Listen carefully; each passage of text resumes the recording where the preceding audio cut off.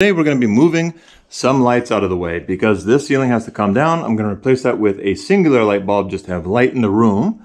And these lights have to come down as well too. Which means I'm going to have to cut off the electricity and terminate those circuits so I can work there safely.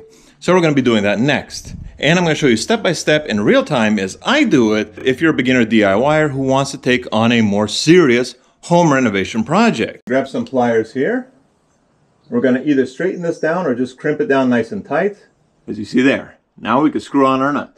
So you're going to take a wire nut like this, and it just screws on like a normal screw. Just tighten her down, and you want enough wire in there to give it enough bite. This way we have everything capped off and insulated away from touching anything, as we're going to pack this back inside the box there. Get some electrical tape, and we'll go ahead and close that off. Now I can go ahead and handle the neutral side. There we go. Now we have our light socket that we can install on the other one. So because this is going to be a live circuit once again, we're just going to practice safety and go ahead and nut this one off like so. We pack this back into the box for safety. Now there's no way that it can cross over and touch anything it shouldn't touch. So I'm going to pack it kind of in such a way where the hot is not going to be touching anything metal, just kind of hanging there.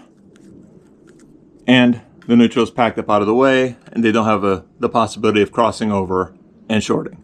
Now let's go ahead, we're gonna go back into the living room and take down the chandelier and install that guy there. Okay, so here's what I'm doing here.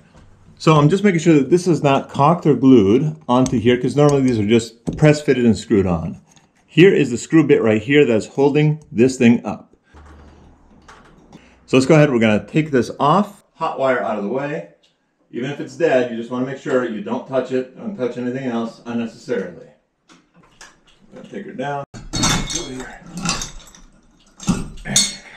screwed in threaded rod here, and there's a nut back there that holds it in place. So you just want to hold that nut in place and just unscrew this. Just screws back on, and just save it with your chandelier to reuse it and hang it back up. Get your wire strippers, and you're going to strip off about that much copper wire, open and bare. Take a little hook, loop it around, and you're going to just tighten this down, and that's it. And then you screw this back up and put your bulb in. And straighten out your wire as best you can and you just make a loop. Just like that. See, and then it goes around your nut and you just tighten your nut down to it. And you do the same on this wire. It's denoted by a darker color on the uh, positive side here. You just hook it around the uh, length of the screw, the thread of the screw. Give this a little tighten down on your loop just to give it a little more contactivity. And just tighten this down. And that's it. And you repeat on the other side.